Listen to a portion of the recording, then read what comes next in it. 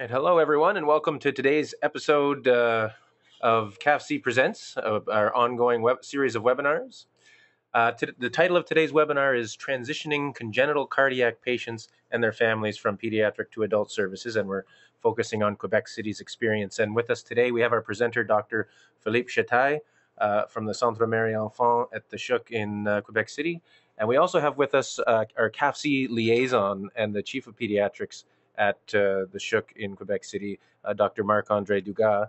Uh, before we hand the pres- or start the presentation, just a few pieces of information. We do have the opportunity to have questions, and we, as always, if you've been on our webinars before, we have sometimes have very long question periods at the end, and as usual, we will require you to type your questions in you should see a little control panel on the right hand side of your screen and there's a little box there where you can uh, type your questions in. And i always recommend that you type your questions in as you think of them don't feel you have to wait until we call for questions at the end. Just type them in as you're as you're thinking of them. Uh, and uh, also, as always, we record uh, all of our presentations, and the audiovisual recording will be made available on the Knowledge Exchange Network on the page uh, that you'll see in front of you. Uh, and we also make available any other resources that are made available to us from our presenters, such as PowerPoint slides and that sort of thing. If they're uh, if they're able to share them, then we will certainly share them with you. Um, and a couple other things I just wanted to point out before we get started uh, is uh, this concept of transition is, of course, uh, of interest to a great many in the CAPHC community, as is demonstrated by our uh, the, the, audience today and it's constantly a topic uh, throughout our activities, whether it be at the CAPHC conference, et cetera. So I just wanted to take the, t- the, this opportunity to point out the work that CAPHC is doing in this area in our Pediatric Practice Guidelines Collaborative. We have a specific uh, community of practice around transitions from pediatric to adult care. So if anyone's interested, hopefully we have some of the folks from that community of practice online today that can help drive this discussion. And uh, but if anyone else is looking for more information on this work, on this community of practice, you can always go to the Knowledge Exchange Network uh, to find more information about that. Um, so, uh, that being said, I'd love to hand the uh, virtual podium over to uh, Dr. Marc Andre Dugas, our, our CAPHC liaison and the chair of pediatrics at the CHUQ, to introduce our presenter. Thank you. Over to you, Marc Andre. Thanks, Doug. Um, and thank you all uh, for inviting us to participate in this uh, webinar. And as you just stated, the transitioning is effectively a problem affecting us all uh, for different reasons. Uh, might be resource utilization, uh, patient complexity. Sometimes it's a medical knowledge of the receiving team that is a problem uh, for some uh, new uh, medical issues perceived as new in the adult receiving team. Might be some patient factors, which Philippe will talk about.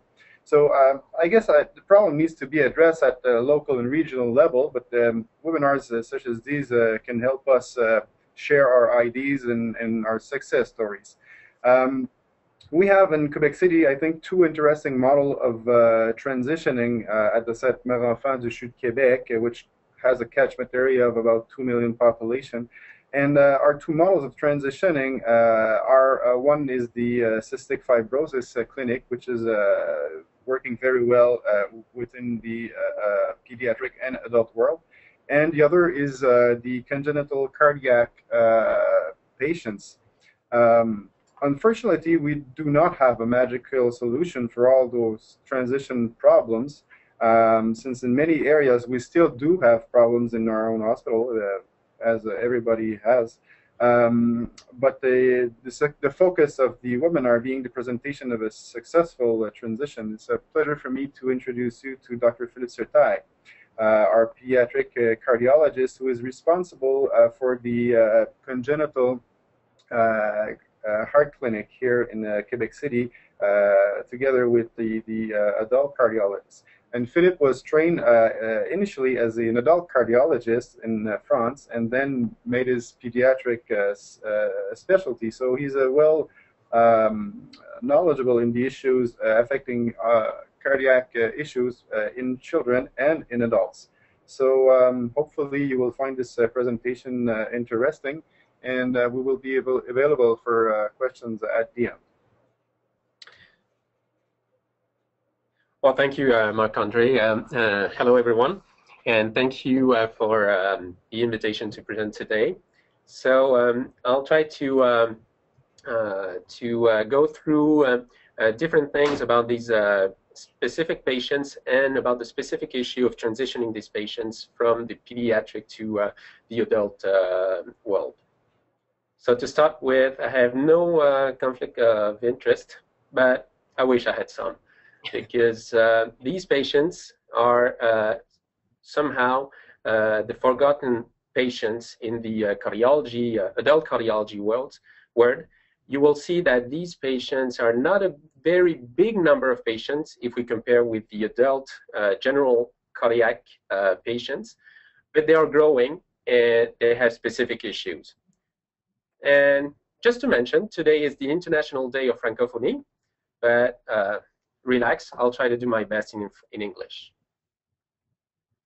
So what I propose to do is to uh, first try to draw the characteristics of these uh, this population. Uh, first, I would like to go through a few statistics to show you uh, what is that population in numbers and how it's growing.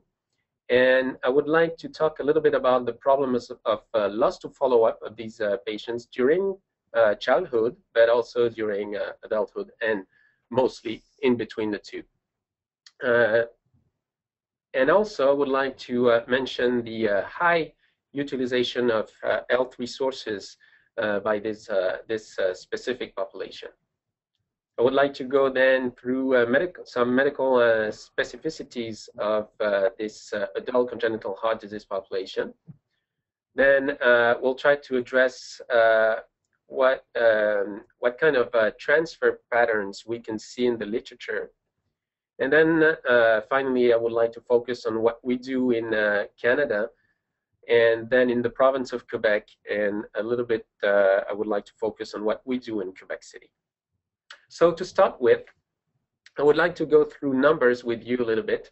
And we have beautiful numbers in the province of Quebec, thanks to the, uh, uh, the, um, the, the, team of Ariane Marelli, uh, who's working a lot with her colleagues on very beautiful database. And so we're able to have very uh, uh, beautiful numbers for these patients in our province.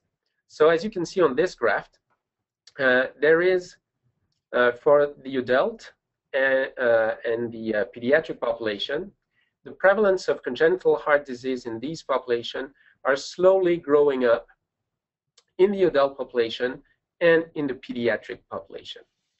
But if we just look at severe congenital heart disease, then what you can see is that over the years, there is a kind of a plateau for the number of pediatric patients with severe congenital heart disease.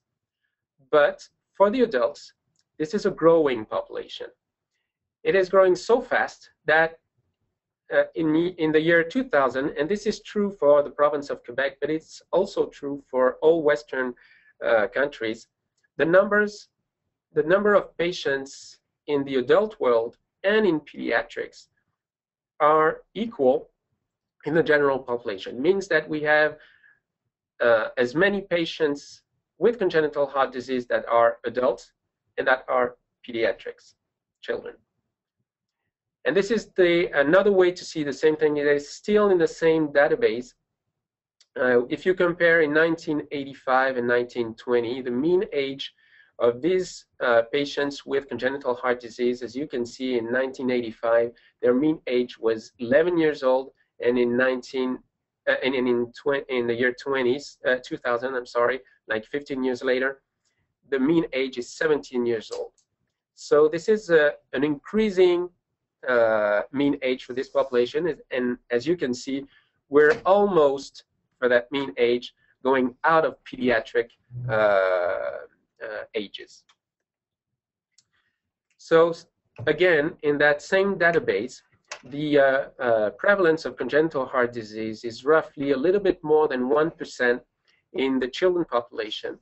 It is a little bit less than 0.5% in the adult population. And for the overall population, it's a little bit more than 5%, 0.5% of, of uh, uh, person, uh, persons that have a congenital heart disease in the general population. And in numbers, these are numbers in the US and in Canada. And as you can see, in the US, more than 800,000 uh, children and roughly the same number of adults have congenital heart disease. And in Canada, of course, numbers are not the same because of uh, difference of uh, uh population. But as you can see, we in the year 2000 have more adult patients than pediatric patients that have congenital heart disease. And why is this? Well, if you look at the uh, mortality curves in the province of Quebec, and this is in the year 87 to 88, as you can see, this is the black, the black line is the general population uh, mortality curve.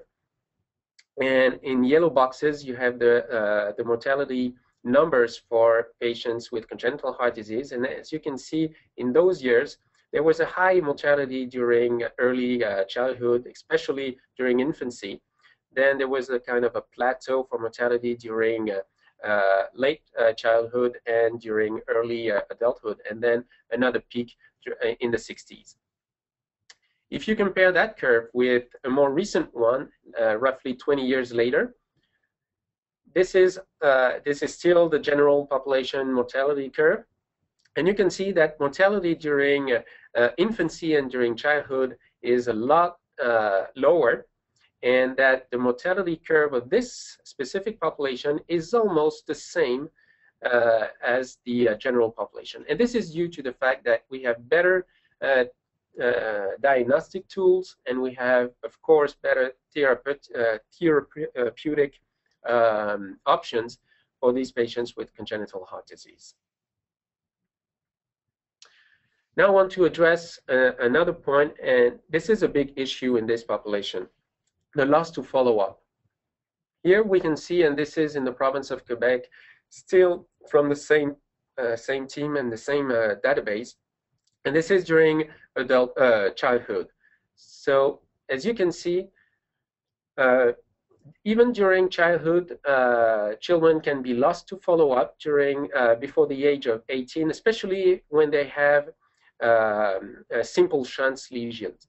But still, when they have uh, when they have uh, lesions like conotruncal anomalies, which are not benign, they can be very complex uh, diseases you can have a significant number of loss to follow-up by the age of 18. And if we look at the adult population, it's even worse. And these numbers are from our own uh, uh, heart surgery database in uh, Quebec City. Uh, in this database, when we exclude PDAs and aortic valve replacement before the age of 40, we have roughly, we had by 2008 roughly 3,500 uh, patients. Out of these, uh, a little bit more than 2,900 were alive. And as you can see, uh, more than half of them were lost, uh, lost to follow-up by the age of eight, uh, after 18, so uh, during adulthood. And if you look at what kind of congenital heart defects were lost to follow-up, of course, there are simple lesions and simple shunt lesions, but there are significant uh, a significant number of complex diseases like tetralogy of Fallot, transposition of great arteries. So this loss to follow-up problem is a big issue in this population.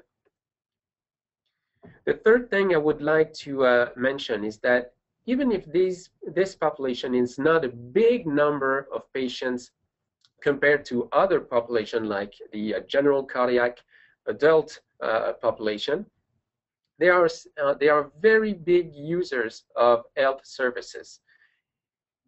This also is uh, our numbers from the province of Quebec. Uh, as you can see, these are uh, hospitalizations for a thousand persons for the uh, general population. And this is uh, statistically different from the population of congenital heart disease with simple lesions. And this is even more uh, different from the uh, patients with severe congenital heart disease. So the um, utilization of health system is very big for this population. And this is a way to look at the same uh, issue. Uh, as you can see here, this is the, uh, the uh, median the, the, the median numbers on a period of time of uh, five years. So 15 visits to the, their GP, 14 visits to their specialists, uh, three uh, visits in the ER, nine hospitalization and five um, hospitalizations, hospitalization in critical care units. So this is to stress stress out that the fact that these patients, even though there are quite a small number, they utilize uh, they use uh, they use the, uh, the the health system a lot.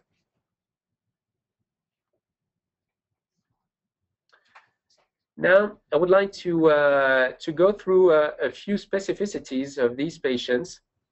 Uh, they have specific hearts, as uh, we'll see, specific extracardiac problems, and they have specific needs I would like to go through uh, very uh, briefly. They need special, uh, uh, specific doctors, and they need specific healthcare workers. I, I don't want to go through all kind, all the type of defects we encounter in this population, but I just want to illustrate the fact that these patients have uh, specific hearts, and what we qualify uh, old hearts in young patients. And this is just uh, a figure from a publication uh, uh, uh from Montreal. They studied um, um, atrial arrhythmias in adults with congenital heart disease.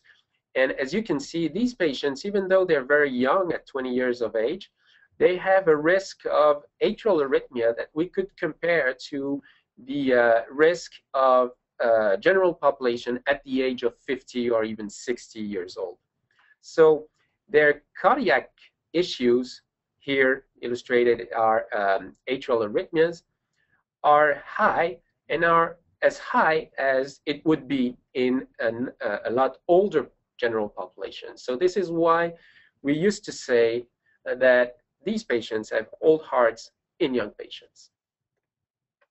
Now, I want to illustrate the fact also that um, they have specific extracardiac issues. And uh, uh, I want to go through a few slides to show what the problem of pregnancy can be. As you remember, this is a young population, so young women, and uh, with uh, a will of uh, pregnancy.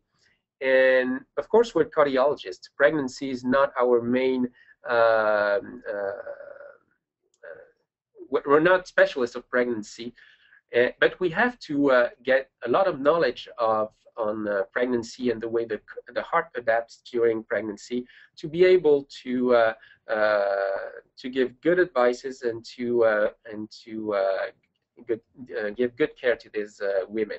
So just to refresh with numbers, in, two, in the year 2000, a little bit more than 5 million adults in the province of Quebec and uh, so that is uh, more than 23,000 uh, adults with congenital heart disease, and more of half of these patients are women and young women's. Uh, so this is quite a, a significant number for the, a small province like Quebec. And of course, this does not include uh, uh, adolescents girl, girls that could also have pregnancies before the age of 18. So just to remind me, remind you a few things uh, during pregnancy, what are the causes of uh, death of these uh, women? This is a registry uh, from uh, the UK, but that could apply, of course, to um, our uh, other Western countries. And you can see that cardiac issues are the main causes of death during pregnancy for these women. And if we look into details, we have here uh, the trend uh, over the years of that cardiac death during pregnancy. So this is just to mention that it's not an historical problem. It is still uh, a very up-to-date problem, and it's even increasing in the last uh, decade. And if we get go into details into what causes uh, those cardiac mortality, of course, um, ischemic heart diseases and uh, health, um, uh, cardiac insufficiency are uh, the main problems. But as you can see, congenital heart disease is not just an, uh, anecdotal. And if you add to that congenital heart disease, the numbers of uh, aortic dissection that can be encountered in you in our patients like, like Marfan uh, disease patients, then you have quite a significant number that yet you can compare with other sources of uh, cardiac death in these uh, women. So what is the, uh, the risk for the mother during pregnancy? As you can see here, of course, the, uh, the, uh, the risk for the mother, it depends on the uh, cardiac defect she has. There are um, conditions that we well know, like Eisenmenger physiology, cyanotic congenital heart disease, that ha uh, that have a huge risk, that are a huge risk for the mother during pregnancy. And these are arrhythmias, heart failure, or the cardiac cardiovascular events. And what about the fetus and the newborn? As you can see here, when women have uh, cardiac issues, the number of issues for the fetus uh, or the newborn, and we're talking about small for gestational age, uh, birth weight, and uh, resp respiratory distress syndrome, or other things, they're significantly higher than in the, uh, compared to the control uh, women. The risk for the fetus and the newborn are here again, uh, depend here again on the cardiac defect of the, the mother. Uh, once again, uh, Eisenmenger syndrome, uh, cyanotic congenital heart disease are in the, top ranking for this these problems. Sorry about this. But pregnancy uh, starts before pregnancy, and so we have to uh, to uh, talk about these issues with our young women, but also as pediatric cardiologists with our uh, adolescents. And we'll talk about this uh, uh, when talking about transition. We have to uh, now be pediatric cardiologists, not thinking about bringing our patient at 18 years old. This is not the goal. The goal is to make them survive as long as they, uh, well, not survive, but live as much as they can uh, through their adulthood with a good quality of life. So we need with uh, in this specific issue, we need to talk with our adolescent girls about pregnancy and about having babies before they're able to, and before uh, they uh, get into uh, uh, discussion with the, the, their husband or loved ones. And as you can see, when we have to talk about contraception, we have guidelines to help us, and these guidelines are written by cardiologists. So, of course, uh, there are guidelines that were made uh, with the, uh, the help of, uh, uh, of specialists of contraception. But still, this is uh, publications to help cardiologists and congenital heart disease cardiologists to um, to to talk with their their patients about contraception. And also what we have to uh, talk about is the risk of transmission to the fetus of the congenital heart disease that the mother has or the father has. So as you can see on this uh, um, table, some congenital heart disease are, have a high incidence of uh, uh risk of transmission, uh, specifically if it's the mother that has the, the, the disease, the defect, and some other have uh, a low risk of transmission. But we have to, to talk with our patients, male and female, about the risk of transmission to their uh, future babies. Now, these patients, they have specific uh, needs. As I was, uh, uh they have uh, specific needs uh, for physicians. They need specifically trained cardiologists with specific fellowship programs. They need, and this is one of the key things, a very good pediatric and adult uh, cardiologist collaboration. And we all need to develop very good networks uh, with obstetrics, pulmonary hypertension clinics, hematology, neurology. They have uh, social issues we need to address, like work issues. If we see these patients, most of the most of the time they're working. They have to take days off from their work to come to the clinic. If they have surgery or other uh, cath or EP uh, studies, all these uh, things we need to do. They have to take days out of work. so these are issues we need to take into account. They have psychological issues also. Uh, it is a lifelong illness, like uh, all uh, these patients that um, were pediatric patients and then become adult patients. Sometimes we see in these clinics patients that are like 40 years old and they are still coming with their parents because the parents are so were so involved in the uh, uh, uh, therapeutic plan or of their children that they still want to be part of the team uh, when um, when uh, their uh, children become adults. So sometimes they they, they have trouble to deal with that that uh, the presence of their parents and when they decide to come alone it, it, it is very difficult for them to take uh, um, to take uh, to make decisions on their own and they need other healthcare workers to um, to, uh, to take care of them. So uh, seeing all this uh, in Canada, there have been a lot of statements over the years to try to improve the quality of regionalized adult congenital heart disease care. Uh, I just uh, uh, listed three of them, like in 1988, care for adult congenital heart disease patients should be integrated with highly specialized uh, specialty care in regional ACHD centers.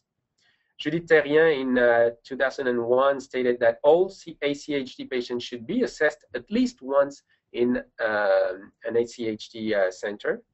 And more recently, in 2010, Candice Silversides uh, stated that uh, an approximate of 50% of these patients require ongoing expert care. So what can we do to try to uh, uh, transfer these patients? And as you know, there are two main concepts when we uh, decide to transfer from pediatric to adult ward uh, our patients. First, the first concept is transition, and I uh, I just quoted two um, sentences from publications that were looking at that issue. So a transition uh, aims to um, uh, provide uninterrupted uh, health care that is patient-centered, age and developmentally appropriate, flexible, and comprehensive. So that means that we need to have extended and multifaceted uh, educational process that ideally begins in early by early adolescence and continues following transfer to adult care. So this, again, uh, points out the fact that it has to be a collaboration between pediatrics and adult uh, cardiologists. And the second concept, transfer, it is when the patient is di uh, discharged from pediatric care and referred to adult care. So what are the different uh, transfer patterns we can look at? I just, uh, here is a figure from a publication that addressed that uh, problem and, and studied uh, 69 uh, participating uh, centers in the US and, um, and, and looked at the way they were transferring their centers. There are pediatric cardiology, cardiology centers, how they were transferring their patients to adult um, facilities, if so. So out of these uh, 69 centers, uh, 18 were not transferring their patients. So that, that is still a number of 26%, uh, 26% uh, of these centers that were not transferring their patient. 74% of these uh, uh, uh, centers were transferring their patients, and that was because transfer was in half of these uh, centers mandatory, but in half of them, it was just an op optional. And um, if they were transferring, they were transferring mostly in 90% to an ACHD program, but in uh, in a in a, a great uh, great number, they were still transferring to general cardiologists or to uh, the general community. Most of the time, it was in the same location, and sometimes it was in another uh, location. Uh, roughly 50% of these centers were using a predetermined age to transfer these patients, and that was 18 years old and uh, the the other half uh, was using a range of age to uh, transfer these patients from uh, 15 to uh, 18 years old. So this is just to uh, point out point out the fact that we don't have just one pattern of transfer. No one has the the the holy grail uh, of uh, uh, how to transfer these patients. We all, as Marc-André was saying in introduction, introduction, everyone tries to transfer the patient the way they can. Uh, meaning do they have uh, uh, pediatric, do they have adult cardiologists trained in adult congenital heart disease? are the pediatric cardiologists trained in adult cardiology? Uh, do they have facilities to do so? So it depends on a lot of things. And I thought that was interesting to mention. Uh, uh, there was a, a nice uh, publication done to uh, try to um, uh, analyze what were the perceived perceived barriers to adult congenital heart disease transfer.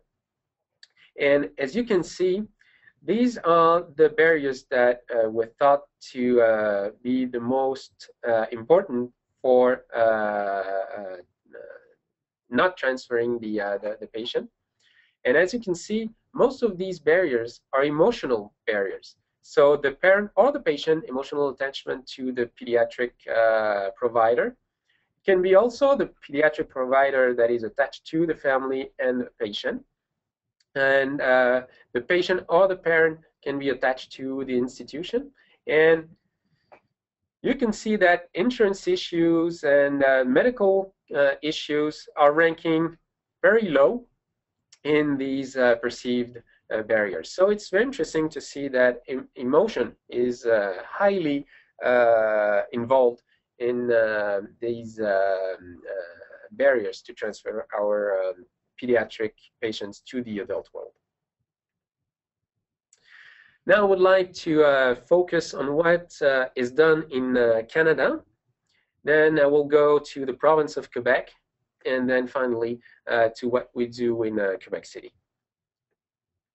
So in Canada, there we have the CACH Network, which is a network of uh, clinics, adult congenital heart disease clinic um, throughout the uh, the country, and it's uh, um, sorry.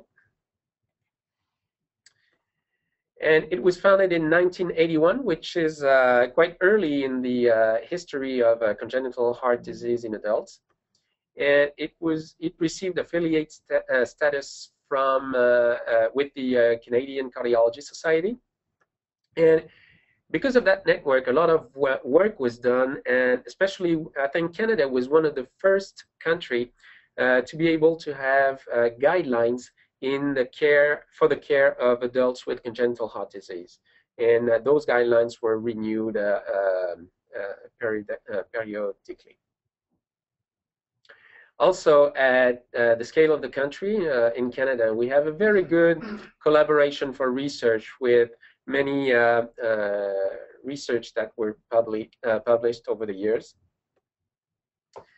Now focusing on the province of Quebec, uh, this is a, a, slide that I took from uh, Ariane Marelli.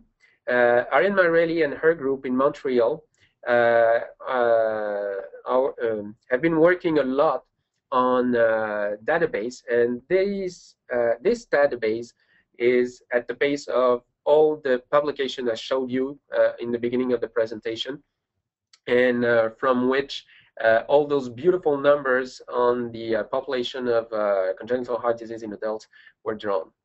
So uh, what she and her team did, they went through database, medical claims database, hospital discharge database, and Quebec Death Registry. They encoded all the, the diagnoses and therapeutic um, uh, uh, things that were done uh, with the ICD-9 codes. They applied a lot of algorithms that I'm not sure I could detail here. as I just don't understand anything about these algorithms. But then they have that beautiful database they're working on uh, and have a, a, lot of things to uh, to tell us about.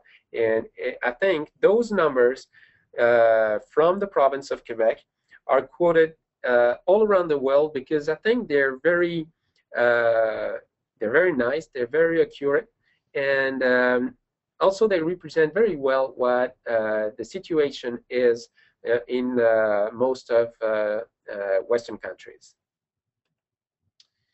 Also, uh, in the province of Quebec, we collaborate a lot uh, Uh, between centers uh, on uh, research studies. And uh, as you can see through these two collaborations at the scale of Canada and the province of Quebec, we we we emphasize on the fact that we are all quite small. Some, some are bigger than the others, small centers. And if we want to know and learn about this, uh, this population, we need to collaborate and uh, collaborate and exchange uh, IDs, numbers, and uh, do research um, programs uh, to make sure that we uh, learn the more that we can from this population to serve it well. Also, in the province of Quebec, we are working very hard on developing the um, uh, database, which is also an electronic chart. So that's the Congenerate uh, project. And it is very well advanced. We are almost able to use it on a clinical um, a clinical um, uh, day uh, uh, used. And this is really dedicated to congenital heart disease patients, pediatrics and adults. And uh, it should be a very powerful tool for clinicians and also for research uh, when it's going to be uh, uh, done. And if uh, many centers uh, want to use it. it. Also, at the scale of um, the province of Quebec, we have a foundation which is named En Coeur, which is dedicated to patients, children and adults with congenital heart disease, uh, disease throughout the, uh, the province of Quebec. And uh, its goal is uh, to uh, support, to do educational supports, to, to have financial support, psychological support, and fundraising.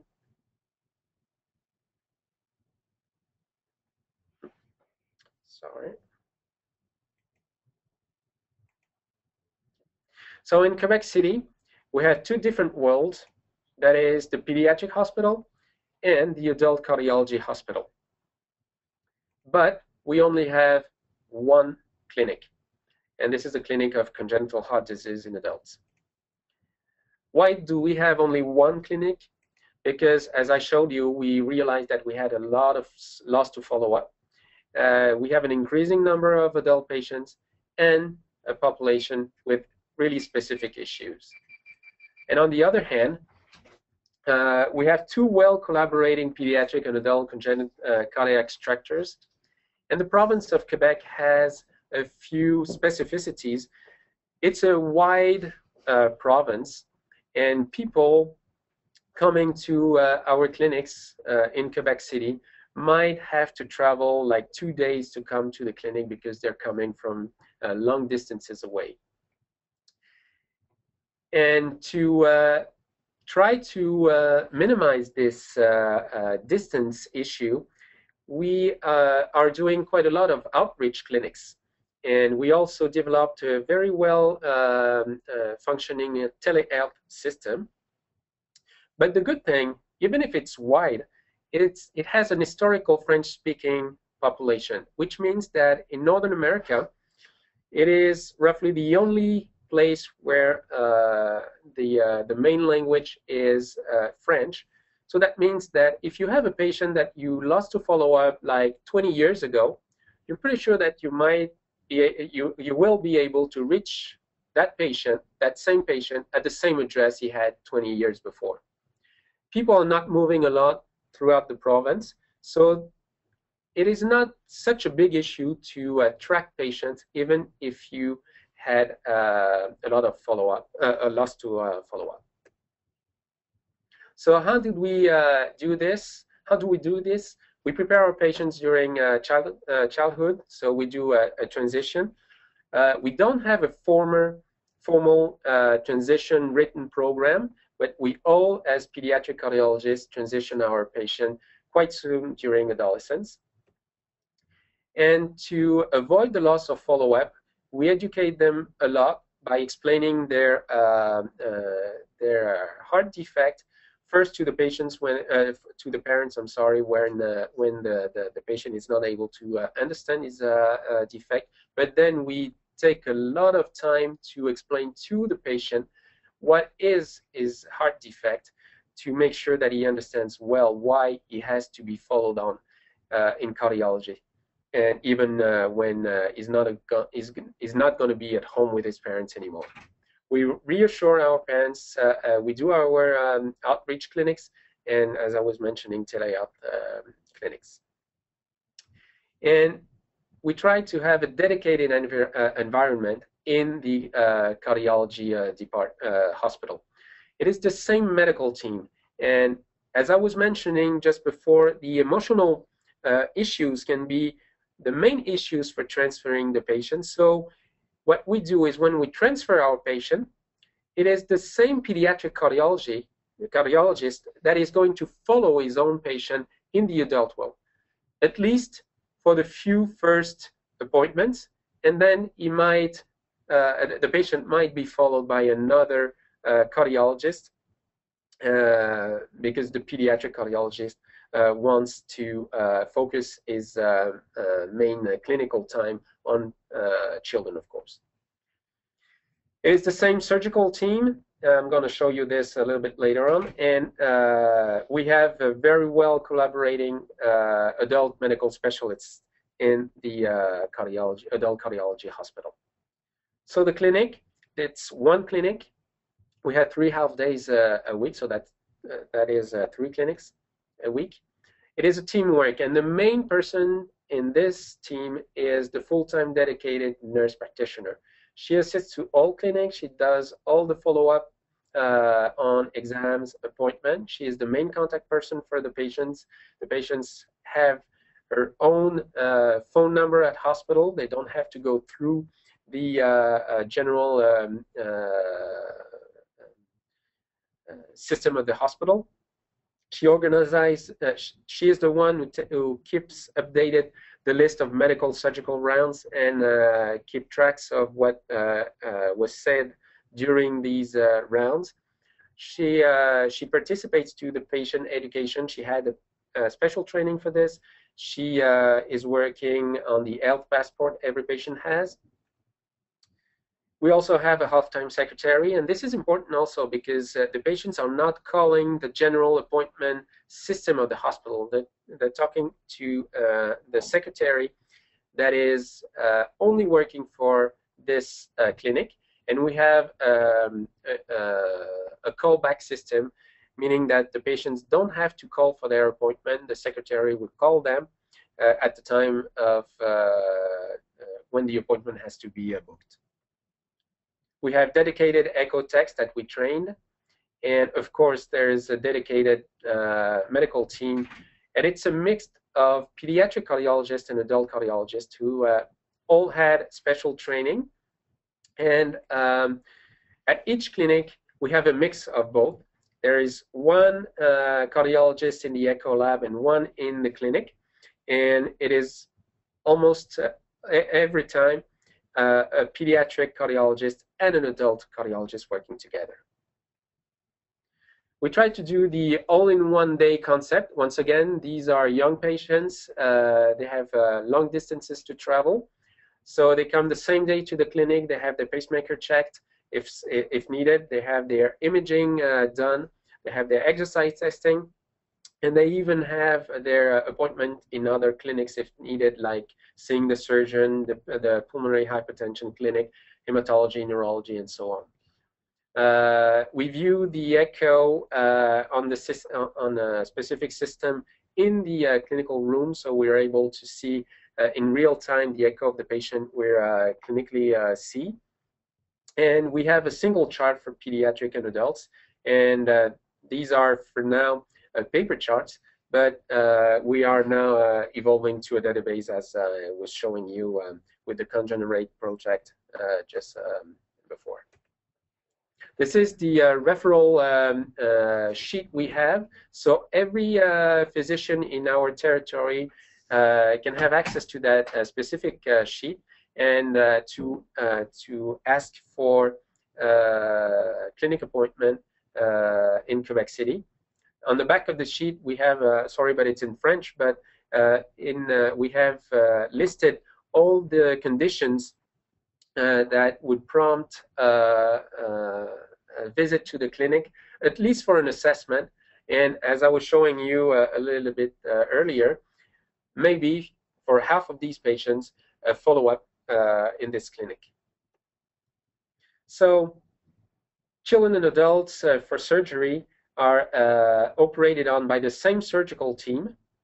Uh, the only difference are anesthesiologists, which are different in the pediatric and adult hospital and they are uh, operated uh, in the two different hospitals to make sure that uh, they benefit from the pediatric environment for the, the children, like pediatric intensive care unit, pediatricians to take care of other extracardiac problems, and same thing for the the adults in their own hospital. But it's the same surgical team. They're traveling between the two hospitals. For CATH, uh, uh, for CATH, uh, we have interventional and diagnostic CATH all in the pediatric hospital, except for percutaneous valve that are done in the adult cardiology department.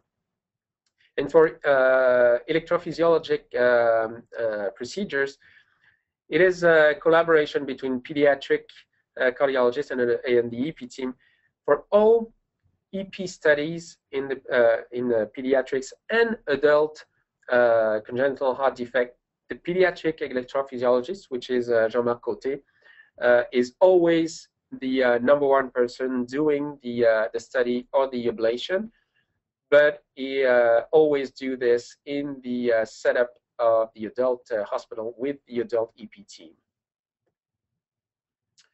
Of course, uh, the clinic has uh, specific connections with other specific clinics. So uh, it is a small number of patients in the clinic, but they are very complex patients. So what we were, uh, what we wanted to do by seeing these patients at a single clinic, but doing procedures at different hospitals to get the expertise of these specific hospitals was for them to be seen and managed in high volume and expertise, uh, expertise uh, centers. We really need to advertise for these uh, kind of clinics.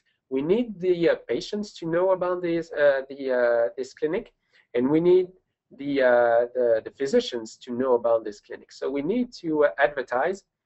And just to, to mention this um, anecdote, we had a patient this is the front page of Le Soleil, which is one of the uh, uh, Quebec City's newspaper, daily newspaper.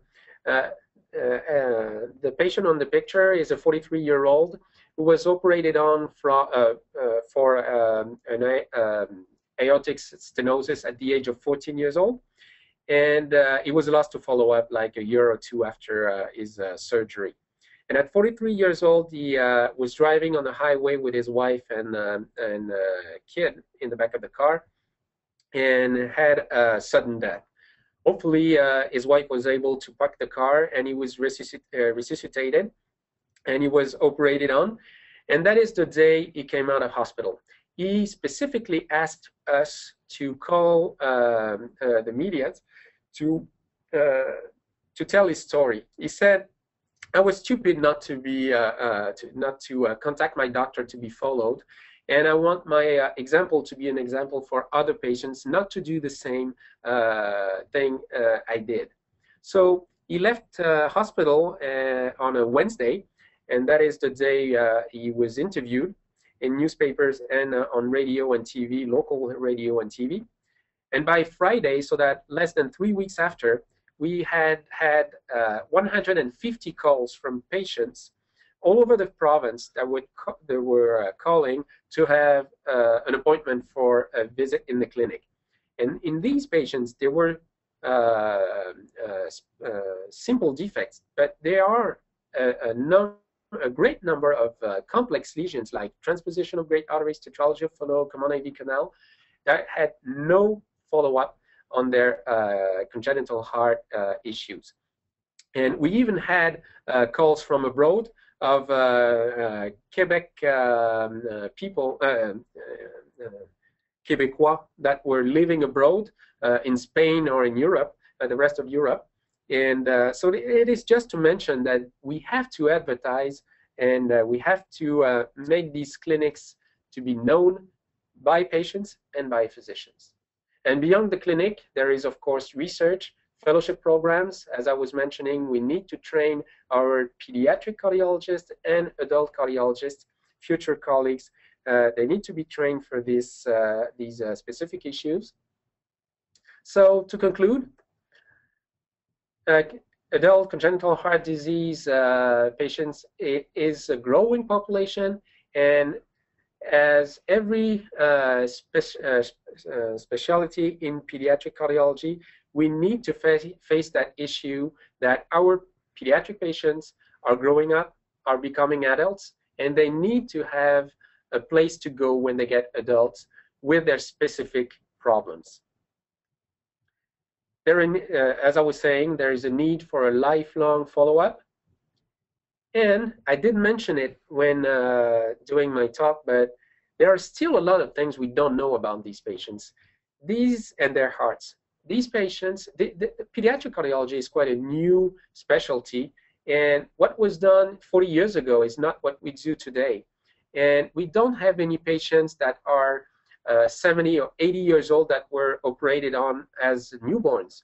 So our patients nowadays are new patients, and they are the uh, adults of tomorrow, and we don't really know what they're going to be when they get adult we hope they're going to be well, but we don't know everything about their hearts. If we want to be able to give them the best uh, follow-up and service uh, we can, we need to follow our populations of adult to learn from them and to apply what we've learned to uh, uh our young uh, population and even to our pediatric population. They have specific issues and needs and transition and transfer programs are mandatory. The key, to my, in my opinion, is a good collaboration between pediatric and adult cardiologists. And once again, this is a, a teamwork. So I would like to thank you to thank uh, all the, uh, the, the the persons in the team. And this is the five pediatric uh, cardiologists in uh, Quebec City. These are uh, uh, adult cardiologists that were uh, specifically trained in congenital heart disease. this is one of our surgeons, and this is our nurse practitioner and um, secretary. So thank you very much for your attention, and if you have any questions, I'll be um, glad to take them. Thank you. All right, thank you, Dr. Chetaille. That was a fantastic presentation, and just a reminder to uh, to the audience, uh, you know, this is your opportunity to ask uh, any questions. Type them into the into the box. But, you know, what an incredible, comprehensive uh, story and and and program. I mean, to start with you know, identifying the, the incredible advances that have been made in in in congenital heart defects and treating them in infancy and, and young children and, and these children are, are living this long. I mean those graphs that you showed at the beginning are our success is part of the problem and that these children are continuing to live into adulthood now. I mean, it's just really an incredible story, and the, the comprehensiveness when you when you started to add in that piece about the advocacy and the advertising and and uh, engaging with these people who have left the system and are, and are not being followed up. I mean, that's a, it really shows the the comprehensive approach that uh, you've taken with this program. I think it was really fantastic. So, well, thank um, you. Yeah. Um, so we're just uh, we don't have any questions uh, yet. I think people are still digesting and uh, and uh, maybe their fingers are flying on the keyboards right now as they're thinking of their questions. But uh, Doug, it's Elaine. I, I, I have a couple of um, couple of comments and, and a question or two, if I may. Maybe I can kick it off. I'm going to have I'm going to pose a challenge for our um, for our colleagues who have joined us uh, from across the country this morning on the webinar as well. Um, Dr. Chetaille, I just want to, as Doug said, I, I too want to thank you for this outstanding presentation. Um, I'm very, I was disappointed when, when you stopped because I was very much wanting more and more information. Um, I think that, um, you know, you, you've hit on so many points. Um, you know, 50% of, of patients requiring ongoing care um, from a generic perspective, almost regardless of um, of the condition. You know, when when we think about transition, I think that's that's a that's a a very um, significant uh, statement and and fact, if you will. Not not not just the 50% being a very large number, but just the realization of the uh, of, of the um, numbers that require follow up um, your particular model, um, you know, you, your slide was very powerful where you showed the Centre Mère et Enfant, the Children's Hospital in Quebec City, and then you showed the adult center under CHUQ, but you have one clinic that everyone goes to. And, and the fact that your pediatric cardiologists follow and, and follow these patients at least for the first several um, appointments. So um, as as they as they transition to adulthood, um, this these are all I'm going to say very unique and um, um, definitely reasons for success of your program, and, and another reason we're so glad that you shared it. When you when you talked about the um, the former patient, the now 40 plus year old man who provided that testimonial. And subsequent to that, you had 150 um, uh, calls and and and uh, individuals sort of wanting appointments.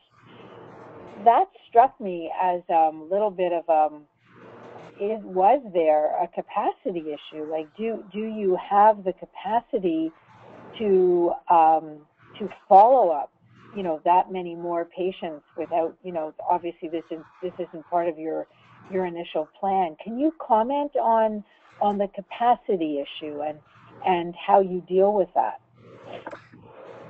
Yes um, thank you for the question. And uh, roughly in the uh, in the clinic we're seeing as you as you saw by the uh, the numbers i showed uh, on quebec city at the end of the presentation uh, we're not a very big center. We're a mid-sized center. And this is also why we need to get organized because uh, we need to, uh, uh, we don't have the power of uh, very big centers like, for example, in Toronto. And we need to get organized. And sometimes it's more of a homemade uh, system, but still uh, if you have a good people working together, you get to do very good things. And we're very proud of what we're doing because I think those, uh, if we look uh, in 10 years when uh, we'll be able to uh, look back of what we did, I think that 50% of loss to follow up is gonna decrease a lot.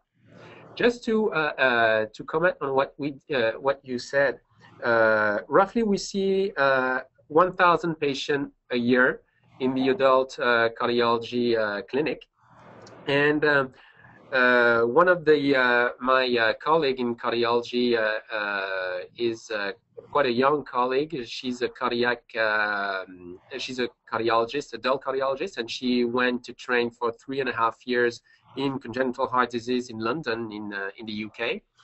And um, we were waiting for her to come back uh, to be able to uh, grow a little bit in, uh, for the clinic.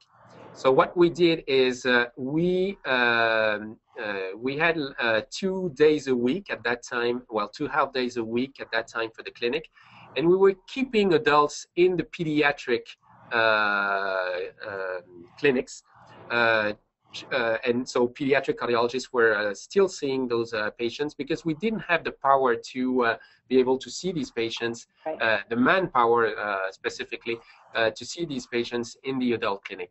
So when she, when she uh, came back, then we had a third clinic. We we uh, begin to transi- uh, to transfer these patients from the pedia- uh, the patient we were still retaining in the pediatric clinics. We try uh, we begin to transfer them to the adult uh, clinic, and uh, we knew that we had to go for uh, uh, and advertise this clinic, but we were waiting to be sure because we were sure that we would have a lot of calls after advertising like we did. So we were waiting uh, to be sure that we will be able to see these patients. Of course, we didn't see all these patients the week after, but we were able to see these patients in a few year, uh, in a few uh, weeks uh, after we. Um, oops. Sorry, can you hear me still? Yes, absolutely. Uh, there's someone who connected to. Um, okay. And um, so we were waiting to make sure that we will be able to see these patients uh, in a in a few uh, weeks or uh, month of time, and this is what we did. The, the, story I was talking about was uh, in um it was more than a year ago, and so far we uh, we've seen everybody. I think in in a in in, a, in a roughly six months, and and this is to to point out also the fact that the the, the, the nurse has a, a huge role, uh, plays a huge role in these uh, issues because she's calling back the patients and asks them what their heart defect is. She collects all the uh, medical data if the patient is coming from another hospital uh, and so forth. And then she's able with us to uh, prioritize the patient. And so we saw the patient that had to be seen in first, first, and then uh, the other patient that were not that uh, urgent, we saw them a few months after. So we were able to do that, but just bef- because we anticipated that we sh- we would have a lot of calls, and so we were waiting for the time that we will be able to uh, to see these patients. Okay, excellent. Doug, are, are there are there some questions waiting? Yes, we did have a question come in. Um, Megan has asked, how are connections established with other clinics within the hospital and out in the community? For example, allied healthcare services, etc. Um, what uh, what we did is uh, the the the, um, uh, the clinic, the adult clinic, the, the adult congenital heart disease clinic, uh, is uh, part of uh, specific clinics in the cardiology departments. These clinics are mostly surgical clinics, uh, like um, aorta diseases and um, and so on. So specific clinics uh, within the outpatient clinic uh, in the um, uh, cardiac hospital. It is uh, uh, Hôpital Laval, uh, the, the, the the adult hospital, is a huge uh, cardiac hospital, adult adult cardiac hospital and pneumology uh, hospital. They have uh, 2,000 uh, pump cases uh, a year in cardiac surgery. It's a very big hospital, and so because we uh, uh, we joined that group of um, uh, specific adult cardiac and surgical clinics, we can be part of their network and uh, and uh, and uh, their connections to uh, all the clinics I was talking about. A specific connection had to be made made with obstetrics, and this is the, the the good thing about this is that because we're coming as pediatric cardiologists from the Children's Hospital, that that is uh, mother and uh, child hospital uh, we know very well the obstetricians. So we developed a very good link uh, uh, between the uh, adult congenital heart disease clinic and the uh, high risk uh, pregnancy service in the other hospital. But it is easy for us to make the link because we're from that hospital too. All right. Uh, we have passed uh, the hour here, so uh, for the audience, uh, for those of you uh, that are out there, um, we will take any questions that come in in the next few seconds. But while we're waiting for any any any last minute questions, maybe we'll just um, go over to Dr. Chetaille for any. Do you have any final comments or any any you know anything you'd like to close off with while we're waiting for any final questions here? Well, I, I, think once again, this is uh, when you look at numbers, uh, uh, these numbers are not that big, especially if you uh, compare to uh, the adult uh, cardiac general population. But these patients are very demanding. They're very complex patients. And just for an example, as a pediatric cardiologist, when I do my clinic, I see in a half in a, in a in a clinic, I see like 14 patients. That's a half day uh, clinic. When I do the exact same clinic as I'm going to do this afternoon in the adult hospital, for uh, so the, the exam same clinic for adults, I see half the number. It's seven to eight patients maximum. And this is not because I'm uh, slower with adults. It's not because it takes. Um, it's just because they are very, very complex patients. Most of these patients, and that's a big issue in the province of Quebec, don't have uh, a GP. So uh, we are doing also all the other. Uh, we're dealing with the other uh, issues they might have. So they are very complex patients, and as I pointed out during the uh, presentation, they use the health resources a lot.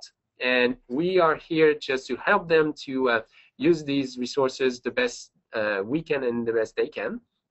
So once again, this is not the number, it's the complexity of these uh, patients. And I think as pediatric cardiologists, we have the, uh, the, uh, the task to take care of these adult patients, or at least to uh, to uh, be sure that these patients are not going to fall without any uh, follow-up when uh, 18 years old and more. We need to transition them. We need to make sure that they have a we have a transfer system. Do we are, are, we part of the transfer system? This is the way we work in uh, Quebec City. A lot of uh, other clinics might not take their pediatric cardiologist as part of the uh, adult team, but still the pediatric cardiologist has to be uh, aware of the uh, ACHD program and must be part of the transition and transfer uh, program. And I think this is true for pediatric cardiology. That is true for a lot of uh, pediatric special uh, specialties. And as we're getting better and better in the uh, care of our pediatric patients, and particularly in in uh, complex diseases uh, uh, at the age of in in pediatrics. We need at the same time to be better in transferring their, our patient in the in the adult world and to make sure there is a transfer um, system and program uh, for these patients not to uh, fall uh, without any follow-up when they get 18 and more. I have one final question come in, uh, and we'll just uh, we'll take this question and then we'll be done. Um, the last question was, uh, what are your thoughts towards sustainability for this clinic, uh, as particularly as client numbers grow, and particularly looking at funding issues, if any, and any staffing issues, need for increasing staff hours or staff numbers? I mean, you know, your thoughts around sustainability going forward. Yes, I'm, I'm very optimistic. Uh, because uh, in um, and once again uh, I'm speaking about what I know, uh, uh, meaning Quebec City's system.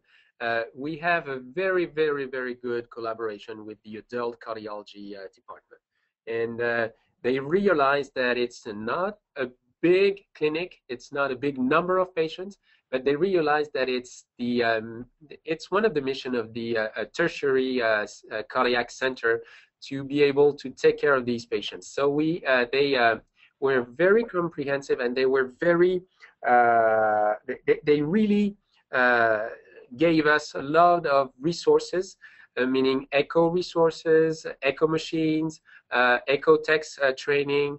And um, Elizabeth Bédard I was talking about, who's um, an adult cardiologist, went to get her training in for several years in in London and that was part of uh, a global uh, thinking uh, about the taking care of these patients.